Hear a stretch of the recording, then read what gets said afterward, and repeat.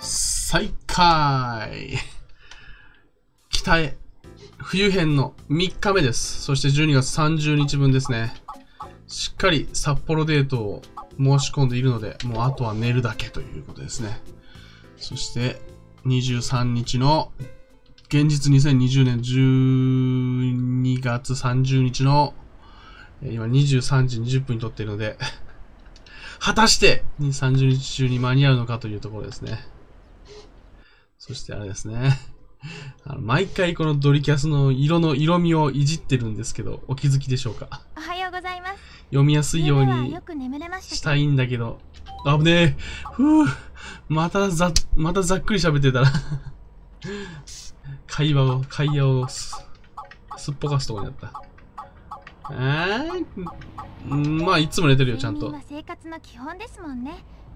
それじゃあそろそろ行きましょうか。前回と同じ感じになってない？大丈夫？睡眠は生活の基本好き。函館で、函館の山の、ちょっと白飛びしてるかな？大丈夫かな？白飛んでる？飛んでる感あるな。なかなか、どこで合わせていいものかってなるよな。スパランド行って、水着を見るっていうのもいいけど、まあ、まずは、まずは、と、と、アッサム、紅茶の、紅茶のお店アッサムに行こう。紅茶好きだから、ターニャは。基本紅茶好きだから。紅茶の店アッサム。こんな寒い日はあったかい紅茶が飲みたくなりますね。せやな。中に入りましょうか。で明日日は一応、一応6対4にしておるんですけども、正しいかどうかはわかんないっす。もしかしたらちょっと狂ってるかもしれない。いろいろといじってるんですよ、実はね。簡単に実況してるように見えて。喫茶エンゼル。あれ、お店の新メニューになったんです。へえ。結構好評みたいですよ。こんな曲があったかな？私、マスターに感謝してるんです。マスターがいたから、私はこの国を好きになりました。あそう。そしてあなたにも。あなたがいたから、私はこの国でずっと頑張っていこうって決めたんです。微妙な角度で見られている。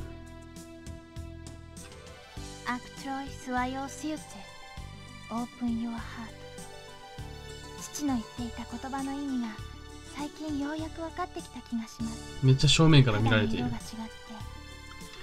このこの正面の書き方が大槍足取流だなっていうふうに個人的に思っていてこれはいいなと思っている。わかるかな？正面で見てるんだけど絵の描き方としては真正面じゃない。右耳は隠れてない輪郭で隠れてないんだけど左耳は輪郭で隠れてるんですよ。この描き方。大事だと思うんでこれ今真正面ですね。真正面だけど、真正面だけど、左のほっぺた。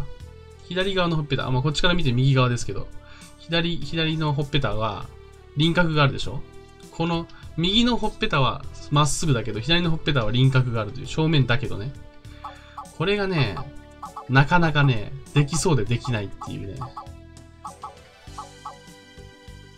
あ父さんに感謝しなくちゃねえかな。下はちょっと攻めす、ぐいぐい行きすぎな気がする。はい。大槍足とかどうかわかんないんだけどね。この絵描いてる原画が。ノッチって書いてあるんだけどね。大槍足とだと思うんだよな。大槍足と先生だと。いや、なんか、怪しいんだよ。確たる証拠ないのに言ってるから怪しいんだよ。スパランド行こう。水着ターニャの水着か。水着を拝み。いけたっけ？こ初めて来ました。行けたっけ？大丈夫だったっけ、体弱いからなターニョそうそういうこと。心臓狭心症的な。大丈夫ですよね。大丈夫ですかね？よっしゃ。ただちょっとあのサウナはちょっとあれなんでね。整えない整えないですけどね。ごめんなさい。待ちましたか？おっ水着を着たのなんて何年ぶりでしょうちょっと照れちゃいますね行きましょうか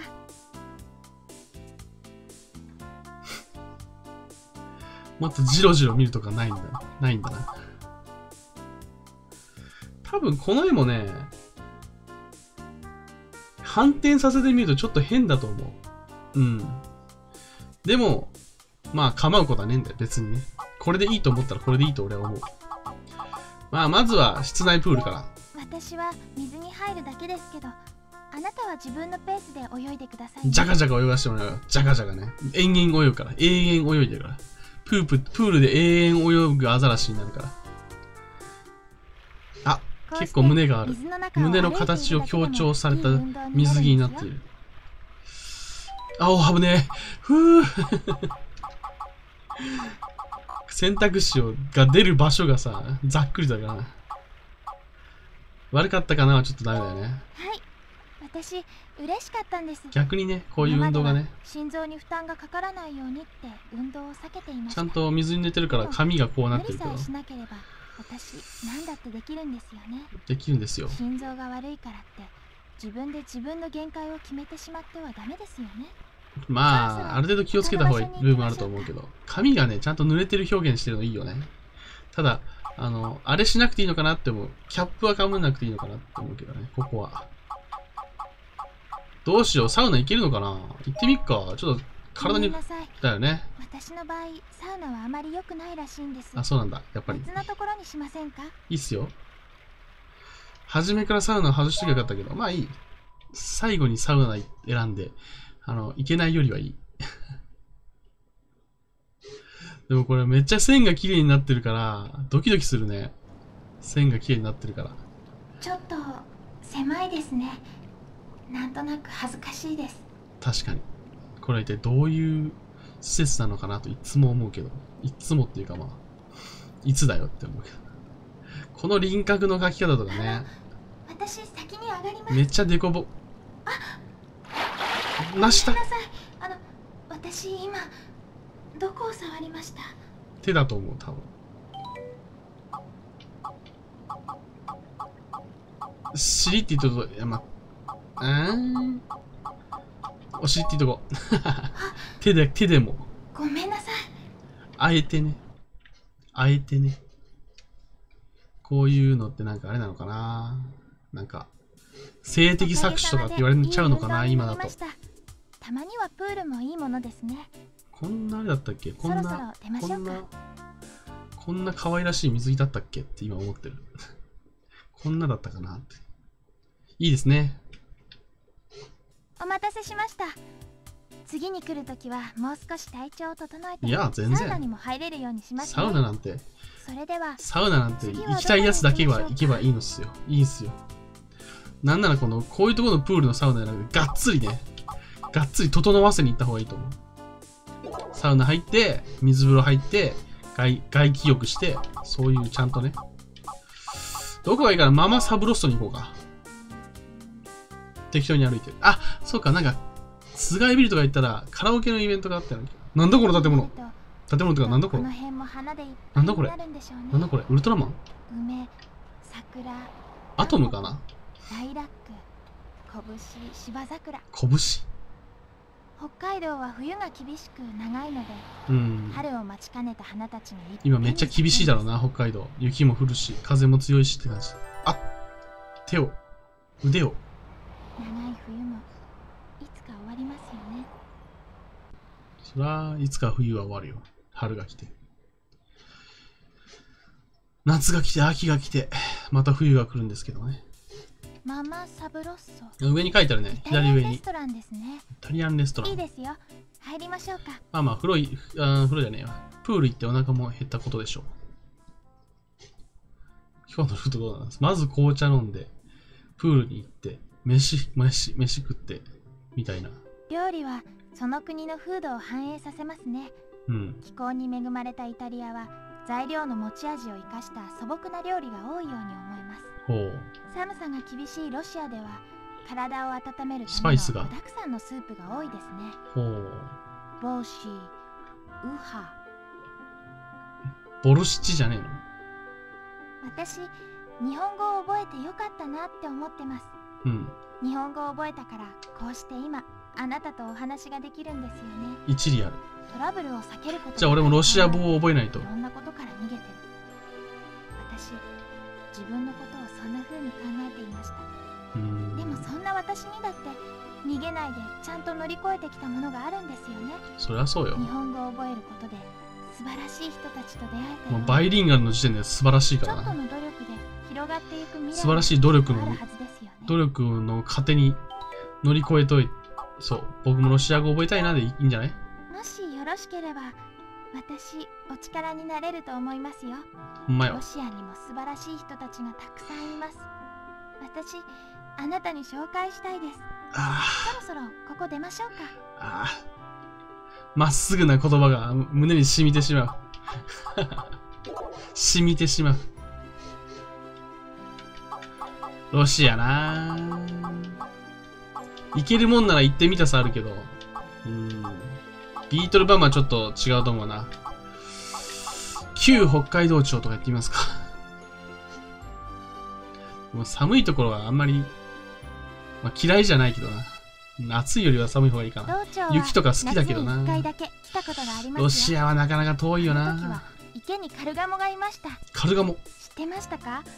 カルガモは本来渡り鳥ではないんですけど北海道のカルガモは冬の間もっと暖かい場所に渡るんですよ。うーん。よく知ってるね。小さな体の一体どこに海を渡る力があるんでしょうね。北海道のカルガモがね渡るとして本州程度じゃないのか？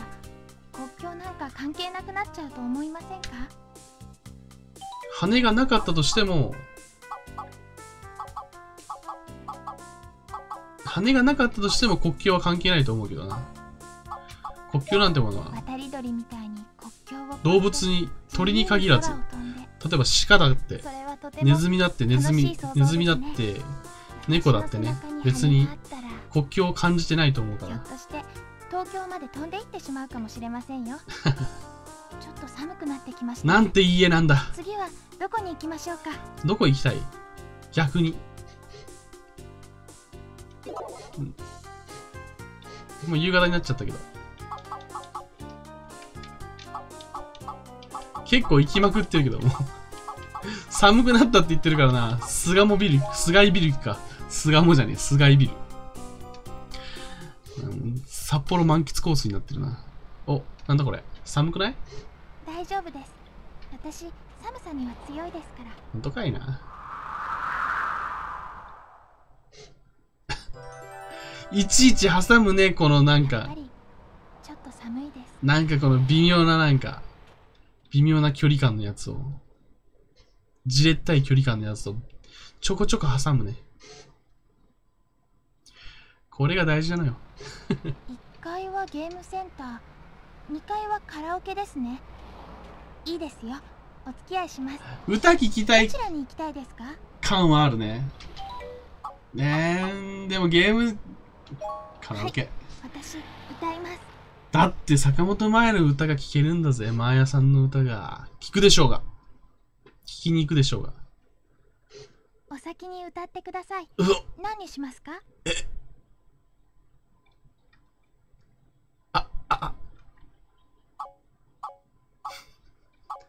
なん、わからん。わからんのだが、飛行機雲かなしたっけ？したっけにしよう。したっけ北海道弁じゃん。どんな歌かな？全然覚えてないな。そして、リズムゲーじゃないか、俺の嫌いな。俺の苦手な。嫌いっつか苦手な。画面の指示に従ってパッドのボタンを押してください。イエスさー。でれれれれででれれれ。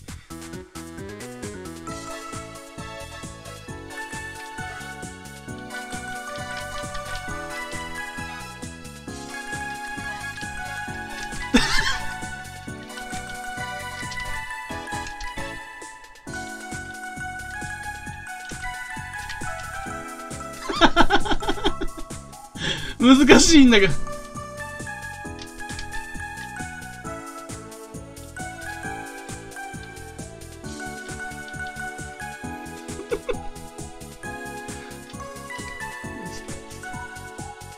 たっけーって。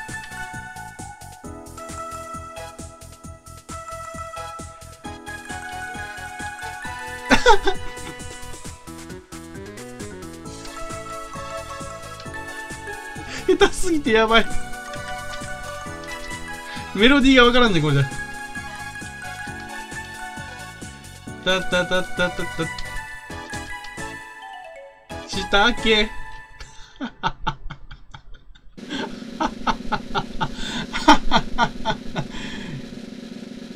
？40点これはもうあのターニャも自信を持って歌えますね。あえて、あえて低い点を取りに行って。は悪いみたいですけど、歌は素敵でしたよ。次は私の番ですね。退屈と憂鬱という歌をお願いします。はい、聞かせていただきましょう。もうダメだ。ダメだ。ひどかったなこんなにできんか。こんなにできんもんか。ここだけ切り取ってさ、YouTube にあげようか。ダメ？ダメだろうね。ここだけ、ここだけでも価値があると思う、この動画。マーヤさんの曲が、マーヤさんの歌ってる昔の歌が聴ける。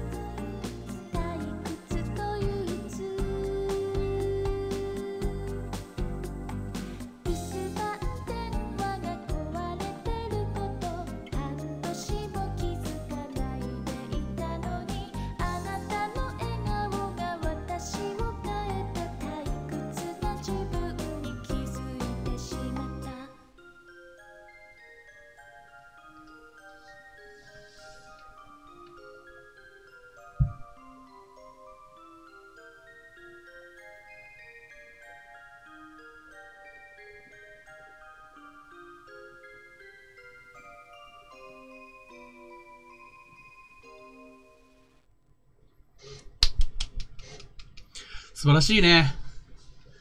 マヤさんの歌ですわ。なんか、この字の分で、75! 大丈夫？このカラオケは大丈夫なんですか？こんな評価を下して。やはり歌は難しい。いやいやいやいやいやいやいや、プロだよ。プロですよ。そうですね。出ましいやいやいやいや。声優界一の歌姫とも言っても過言ではない。坂本真綾を捕まえて75点とか、このカラオケはちょっと、ちょっと、まずいですね。炎上騒動になってしまう。お、いいとこに行ってますね。なんかね、この喋ってるのを聞くと、坂本真綾ってこんな声だったっけかなって思うんだけど、歌ってるのを聞くと、あ、坂本真綾って思うよね。思いませんかめちゃめちゃめちゃめちゃ高校の頃とか、中学、いや高校の頃かな、坂本真綾にハマって CD とか持ってるもんたくさん。で、歌めっちゃ聴いてるもんね。声優としてはあんまり聞かな、知らないのに、アルバムだけはめっちゃ、めっちゃ持ってめっちゃ歌聴いてたから。歌き、歌声聞くと、ああ、真綾さんだってなるよね。うん。なんだこれ。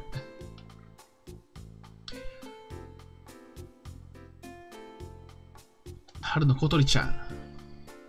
特に思い出なし。こういう、なんだろう。こういう地味な服が似合うよな。こんだけあの、頭が明るいとさ、髪が明るいとさ、下の服とかでさ、派手めな何かを、木をてらうことが全くないよな。青い瞳、青い瞳、金髪の髪って、この時点でもう、下はそんなにもう、なんか真っ黒ずくめですら似合ってしまうっていう感じだよな。僕はこの今年最後のイベントを誰と過ごすのか、一晩ゆっくり考えて結論、結論出す必要がねえ。もう一択じゃん。一択じゃん。一択なんよ、もう。もう迷う必要が何もないんよ。まずは風呂に行こうか。しかし風呂。なんか飯がないのが残念だな。飯イベントが。はい。ふう、温まるな。旅行3日目。今日もいろんなことがあったな。はい。はい。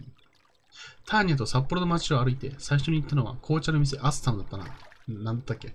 そこでターニャが話してくれたのは、確か、おー、うーん、お、北方領土の問題について。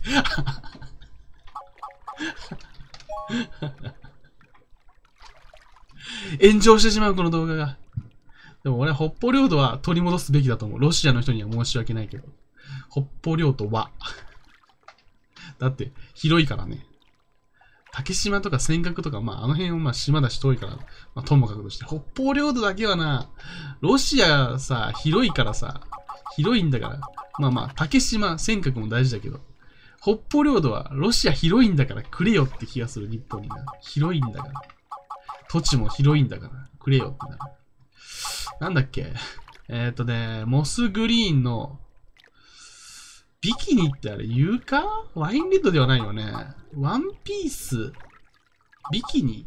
ワンピース。どっち？ワンピース。あ、合ってる。よしよしよし。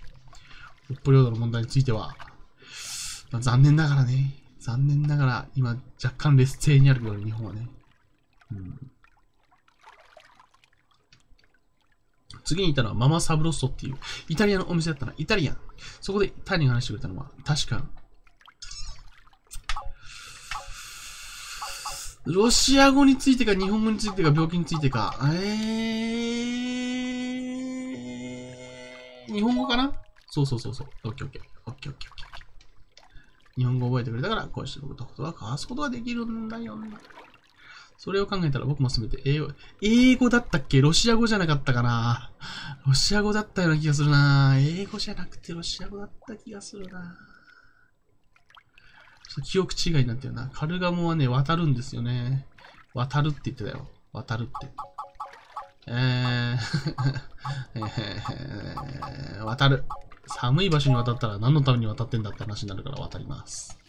オッケー。ちゃんといけば、いけてる。ちゃんと、ちゃんと全問正解。何の意味もないクイズに全問正解してしまう。カラオケです。カラオケ。カラオケ。ボーリングとかあんの？ボーリング、ボーリングもいいな。退屈と憂鬱っていう曲、透明感のある声がすごく良かったな。しかし曲はちょっと若干退屈だったけどな。旅行3日目、最高の一日になったな。そろそろ上がらなくちゃ。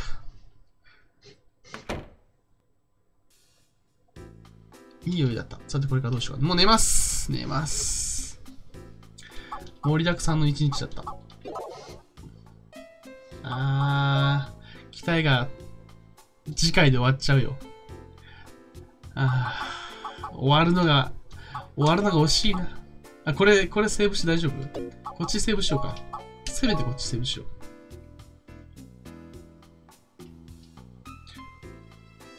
このセーブ、この、このデータ消したくねえな、このデータ。あ、まあ、ええか。まあ、ええか。水着が見れるから、この、このあれを消したくないって思ったけど。よく考えたら動画で撮ってんだから、いつでも動画を再生し直せばいい。俺の声が入るからやっぱダメだ。はぁ。ってことで、今日はここまでにしましょうか。12月30日。明日、12月31日で、期待シリーズ冬編のターニャ編がおそらく最後でしょう。ホワイトイルミネーションをして終わるんだったと思います。確かね。ということで。じゃあ、明日も見てくれると嬉しいです。こんなところで。ほなまた。